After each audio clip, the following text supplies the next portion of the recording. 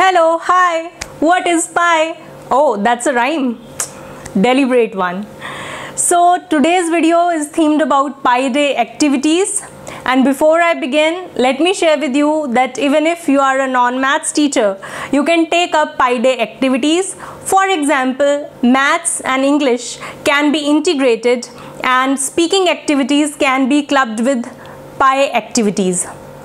And before we begin with the activities, we must understand what is pi. Though I'm sure as teachers, you have explained it to the students and if not, you can always reiterate that in the class. So pi is the ratio of the circumference of the circle to its diameter. It is an irrational number which goes on and on forever till infinite. So let's begin with the activities of pi.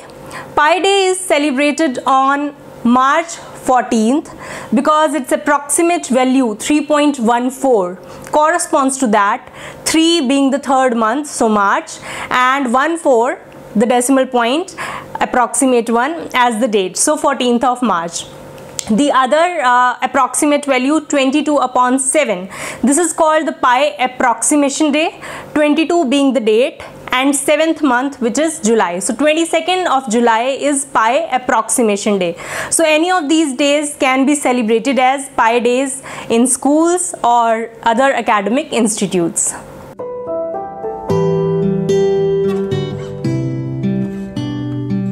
My first creative activity that can be taken in English as well as maths is pi puns. Yes, you heard me right.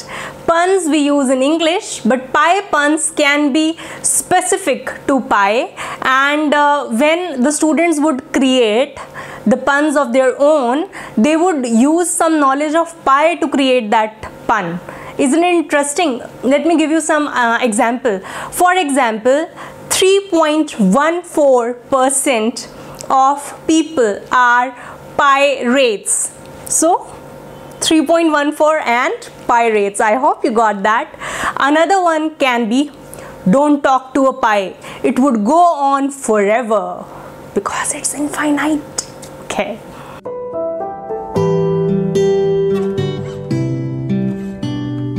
The second activity is related to the memorization because it is the consecutive recitation of the value of pi. Howsoever you know you you memorize it to what extent you can go uh, about uh, memorizing the digits as per the order of value of pi. Uh, Guinness Book record holder is uh, Sri Rajveer Meena who is from Rajasthan. He has memorized and recited up to 70,000 decimal places of pi. So could you beat that?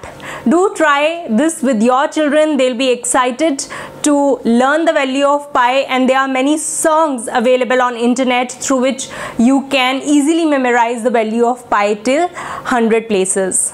Moreover, it can also be taken as a competition and whosoever will memorize and recite the consecutive digits correctly may be suitably awarded.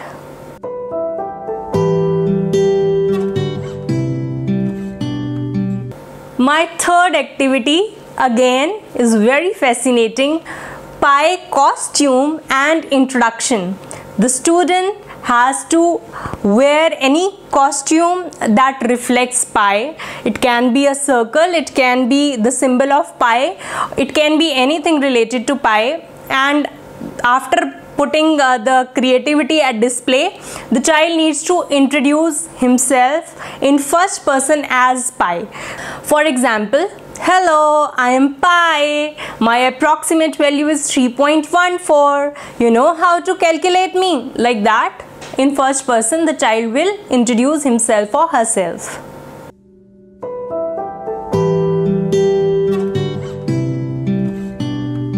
The next activity is pi melody. So pi melody is basically creation of a composition, writing of a rhythmic song based on information or facts or relevance about pi. So it's up to the students how they create it. Uh, we can take an example uh, as I begin. Hello, hi, what is pi? like that now this is one rhyme we can add up something to it uh, say um, let's catch up some speed. It's the ratio of the c to d. C for circumference and d for diameter. So this is how it can go. Or um, let's be wise. It has nothing to do with the circle size so it's rhyming it's some basic information and it's about pi. So how they create this melody it's up to their creativity. And i'm sure as their mentor as their facilitator you will be amazed to see how beautifully they create the pi melodies.